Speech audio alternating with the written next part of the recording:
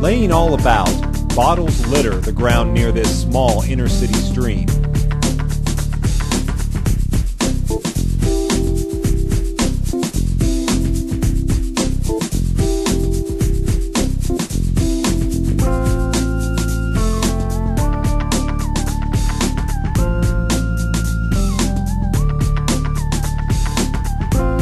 Even areas like this small pond are continually plagued by used water bottles.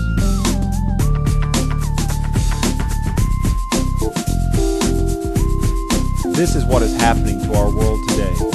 As people pay less attention to what happens with their trash and buy more and more bottled water. It becomes apparent why the ponds and streams end up littered.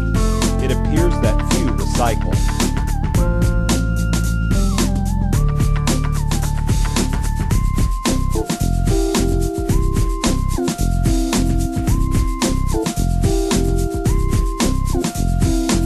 If we take back the tap and stop using bottles, we will have a clean earth once again.